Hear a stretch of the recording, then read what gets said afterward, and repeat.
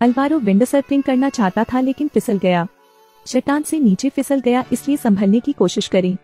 लेकिन रेत के अलावा अल्वारो को और कुछ नहीं सूझा। अंत में अल्वारो को ब्रेक लगाने के लिए अपने चेहरे का इस्तेमाल करना पड़ा। अब अल्वारो डर से काँप रहा था, अपनी पूरी ताकत से रेत को पकड़ रहा था। लेकिन अल्वारो अभी भी धीरे धीरे नीचे खिसक रहा था। अल्वारो ब्रेक लगाने के लिए अपने हाथ का उपयोग करने की कोशिश करता है। अल्वारो ने फिर से ब्रेक लगाने के लिए अपने चेहरे का इस्तेमाल किया। इस समय, अल्वारो के बैकपैक में एक फ़ोन है। अल्वारो सोचता है कि यह कॉल लेना ही ठीक है। अल्वारो ने फ़ोन को एक हाथ से दूसरे हाथ से पकड़ने के लिए इस्तेमाल किया।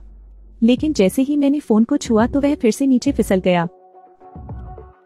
सौभाग्य से, अल्वारो के अंग चट्टान के किनारे को पकड़ने में सक्षम थे। समुद्र के नीचे चट्टाने हैं, वहाँ गिरोगे तो मौत ही मौत है। अल्वारो रेत से चिपक गया, लेकिन उसकी थकी हुई सहन शक्ति अधिक देर तक टिक नहीं सकी। इस समय तक अल्वारो ने संख्याएँ गिनना शुरू कर दिया था। अल्वारो तरंग की लय की गणना कर रहा है। अल्वारो उस उच्चतम बिंदु से नीचे कूदना चाहता था जहाँ लहरें टकराती थीं। आठ, सात, छह, पाँच, चार, तीन, दो, एक। सौभाग्य से अल्वारो समुद्र में गिर गया। लेकिन प्रभाव के बल के कारण अल्वारो चट्टान से टकरा गया। अल्वारो उत्साहपूर्वक तैरकर सतह पर आ गया और उसने स्वयं को बधाई दी। लेकिन अल्वारो को नहीं पता था कि दुस्वप्न अभी शुरू ही हुआ था। यह आदमी हताश है। अल्वारो समुद्र में गिर गया, वह तैरकर सतह पर आ गया। अल्वारो ने शरीर की जाँच की, शुक्र है कि कोई बड़ी समस्या नहीं हुई। अल्वारो उठा और अपना शरीर हिलाया, अचानक। वह बेहोश हो गया। एक लहर ने अल्वारो को जगा दिया। कुछ समय पहले, अल्वारो एक चट्टान से टकरा गया था और उसकी रीढ़ और हाथों पर गंभीर चोटें आई थी। कमर का भी एक बड़ा टुकड़ा फटा हुआ था। निचला हिस्सा अब महसूस नहीं हो रहा है, केवल पैर का अंगूठा ही हिल सकता है। अल्वारो ने अपने बैग से अपना फ़ोन निकाला, लेकिन वह टूटा हुआ था, क्योंकि फ़ोन भीग गया था। अल्वारो मदद के लिए चिल्लाया, लेकिन सुनसान जगह खाली थी। फिर अल्वारो ने अपने हाथ के घाव का इलाज करते हुए अपनी शर्ट उतार दी। अल्वारो लेट गया और सो गया। अल्वारो को फिर से जागने में ज़्यादा समय नहीं लगा।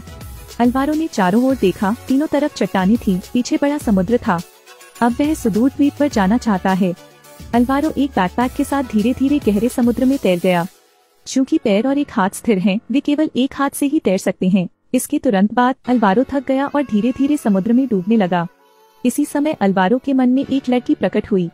वह अल्वारो को सलाह देती है कि वह हार न माने क्योंकि वह उसका इंतज़ार करेगी।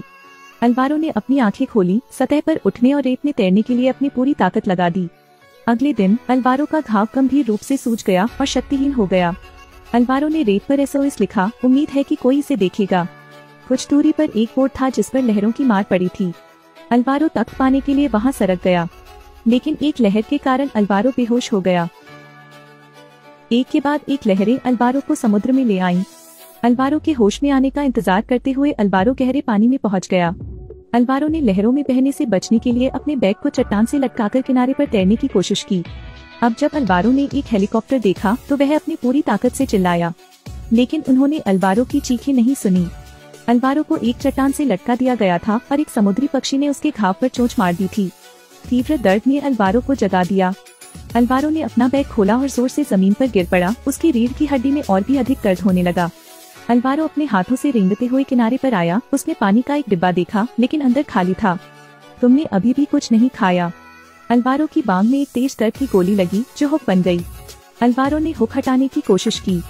अल्वारो तब तक कोमा में था जब तक वह रात को नहीं उठा और तारों से भरे आकाश को देखने के लिए पीछे छुप गया।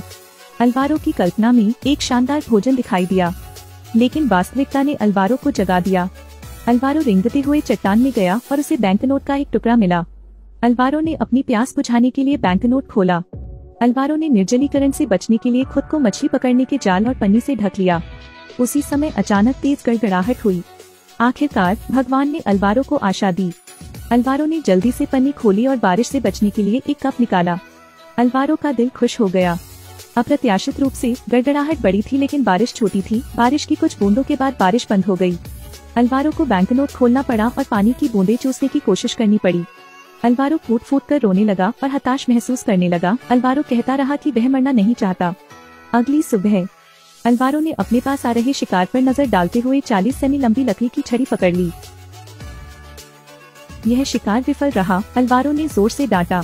तभी रेत में फ़ोन की आवाज़ आई। आखिर में उसे बचने की उम्मीद थी। अलवारो ने फ़ोन लेने और अपने माता पिता से मदद मांगने की कोशिश की, लेकिन उन्होंने नहीं सुना। उन्होंने अलवारो को जवाब नहीं दिया। पता चला कि यह सिर्फ़ एक वीडियो है। आशा पुनः निराशा में बदल गई। अपने सपने में अलवारों ने खुद को समुद्र तट पर जाती सर्फिंग करते, दोस्तों के साथ खेलते हुए देखा। अलवारों ने रेत में फिर से एसओएस लिखा, फिर वह बेहोश हो गया। अलवारों को दूर समुद्र में कुछ दिखाई दिया, एक छोटी सी नाव। अलवारों ने समुद्र में रेंगने के लिए अपनी पूरी ताकत लगा दी। अलवारों जल्दी से उस नाव के करीब पहुँचना चाहता था। लेकिन समुद्र में कुछ भी नहीं था, इसलिए शायद अलवारों व्याकुल था। अलवारों ने आखिरी उम्मीद भी खो दी। लेकिन अचानक एक काली छाया सामने आ गई। यह वह छोटी नाव थी जिसे अलवारो ने देखा था। अलवारो बच गया। यह फ़िल्म सच्ची कहानी पर आधारित है।